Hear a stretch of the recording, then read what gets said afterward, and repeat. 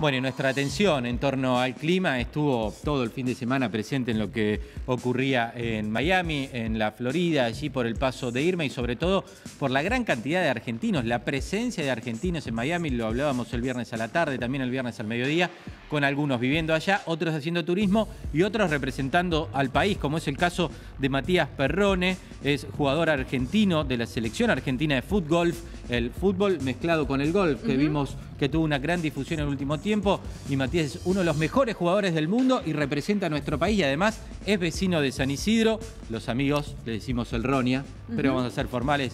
Matías, ¿cómo va? Buenas tardes, gracias por atendernos. Estamos comunicados con él a través de Skype. Eh, bueno, ¿cómo, se viven estas horas después del paso de Irma? Matías, ¿cómo están? Hola Marian, ¿cómo andás? Bien, eh, bien. Por acá ya todo vuelve a la normalidad, eso es bastante sorprendente. Ayer se la pasó no mal, hay que ser sinceros, en donde, en donde estoy yo, que es a 40 kilómetros de Miami hacia el norte más o menos, eh, en una casa, bien protegidos, algunas caídas de árboles, un viento, la verdad que de los que nunca había visto, pero sin embargo nada tan grave como fue en las islas del Caribe, en, Cuba, en el sur de la Florida. Eh, así que nada que lamentar. Pero sí es, es sorprendente cómo todo vuelve a la normalidad después de lo que fue ayer, que como te decía, se volaba eh, casi todo. Así que eh, todo, todo en orden acá en, la zona donde estoy yo.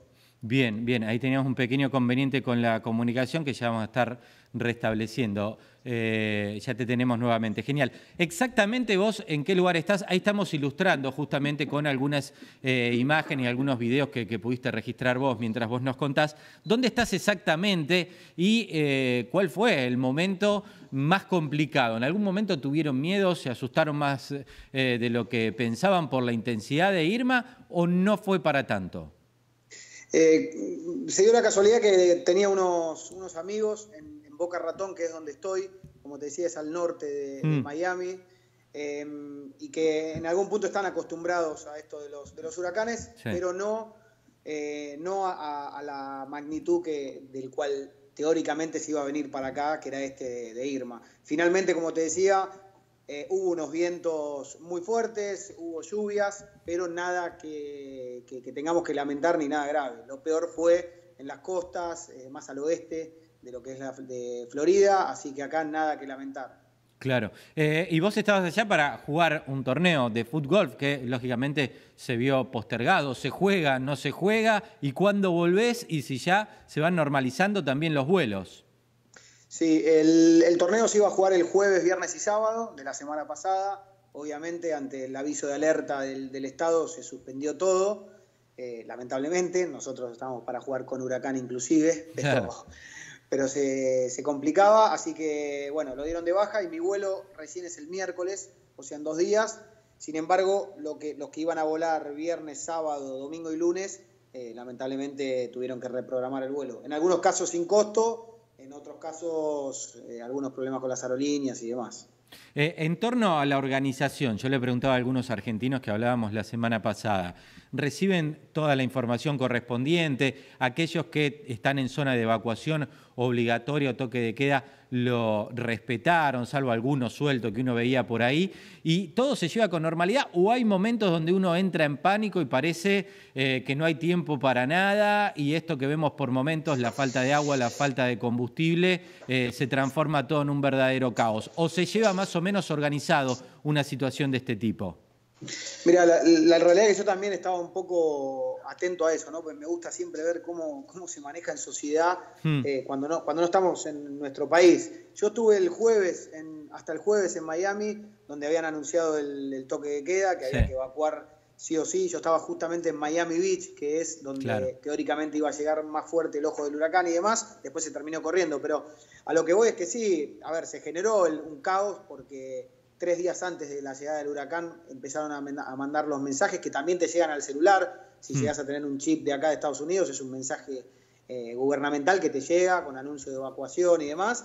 Y, obviamente el, caos, eh, la no nafta. Eh, yo me tuve que tomar un, Uber para tomarme un tren y el Uber por ocho minutos me cobró fortunas.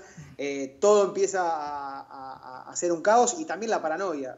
Pasa un poco de esto de que, como en Argentina, cuando, cuando pierde la, selección, que somos todos especialistas en la selección, acá se transforman todos en especialistas de huracanes y podés escuchar en la tele cualquier cantidad de cosas. Yo prefiero u, opto por, ir a lo, más lógico, a los, que, a los que saben, que es la policía y demás, en teoría, y acatar un poco esas órdenes y, y sin entrar en pánico, ¿no? Claro, ahí veíamos imágenes y videos, no fue de las zonas más afectadas directamente por el huracán donde estabas vos, pero lo que se puede ver es que eran fuertes los vientos y que generó eh, algunos eh, inconvenientes, ramas, árboles o algunas eh, ramas de palmeras caídas, ¿no? Sí, sí, acá árboles se cayeron un montón. Por eso digo que quizás era un poco más de suerte o no, que se te caiga o arriba del techo de tu casa o en un auto pero no, no más que eso. El agua tampoco creció tanto como se esperaba. Eh, y estábamos en una casa, la verdad que, es un privilegio porque no, hubo nada que, tengamos que lamentar, como te decía antes. Claro, claro. Bueno, Ronia, la última, y ya que estamos, aprovechamos y difundimos el fútbol porque sos uno de nuestros representantes y a nivel de los mejores del mundo. ¿Cómo va esa, esa, ese desafío y cuál es el próximo ahora con el torneo suspendido ahí en Miami?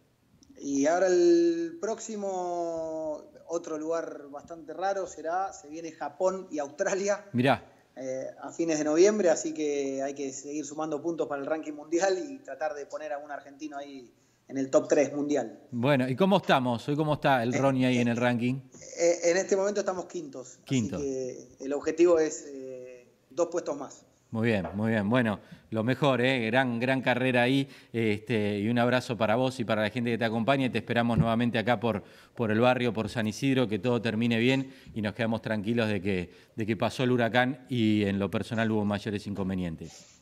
Bueno, muchas gracias. Eh, gracias siempre por estar ahí y tienen un reportero por el mundo siempre. Así dale, dale. Eh, te tomamos la palabra, Ronia. Un abrazo grande. ¿eh? Abrazo grande, gracias. Bueno, Matías Perrone, un gran representante nuestro, ¿eh? vecino de San Isidro, número 5 del fútbol mundial. Hay que invocar la pelotita, ¿eh? Ay, sí, totalmente. ¿Eh? Es, a ver, el que no lo tiene, el fútbol, una cancha de golf, pero con hoyos más grandes, lógicamente, y una pelota de fútbol, ¿eh? para especialistas. Eh, para gente de precisión, para los que le pegamos bien a la pelota, ah. no para los que son de pegar cuando juegan de número 2 como nuestro periodista deportivo Agustín Álvarez. Pero lo practicaste entonces, lo hablas con Y con el Ronia con quien empezó. Ah, bien, ¿Eh? bien. Ah, ¿empezó con vos? de chiquitos ah, jugábamos juntos a esto, muy bien. Pero bueno, eh, no tiene nada que ver lo que estamos diciendo con las imágenes, claramente, ¿no? El fútbol nada que ver con esto, pero estas eran las imágenes que nos mandaba el Ronia, sano y salvo. Abrazo a la familia Perrone que nos está viendo, un beso grande a su hermano, que seguramente también nos debe estar mirando. Este, el Ronia está bien volviendo a la Argentina, el Ronia. Matías. Matías. Matías, Pero bueno, es un gran amigo y nos reportaba así el paso de Irma eh, por Miami, en la zona del Boca Ratón, sin mayores problemas. El resto ya lo vimos, pero era una buena referencia tener a un vecino de San Isidro, pos Irma, contándonos cuál es el saldo y cómo es el día después y cómo Miami vuelve a ser Miami después del huracán.